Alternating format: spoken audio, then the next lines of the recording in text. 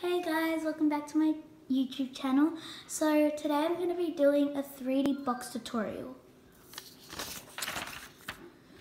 And before we get started, please make sure you smash that subscribe button in 5, 4, 3, 2, 1. If you did it, give this video a big thumbs up. Let's see if we can get at least two likes. And make sure you hit the bell and make sure it's ringing so you get notified every time I post a new video.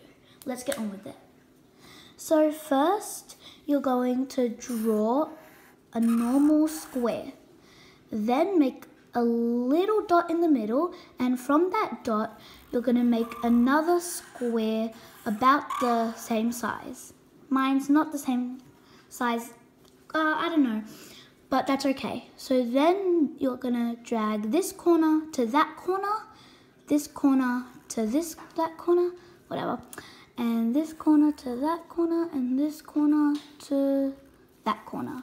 And there you go, a 3D box. Um, send this to all your friends so um, they know how to draw a 3D um, box. So yeah, hope you enjoyed this video and see you guys next time.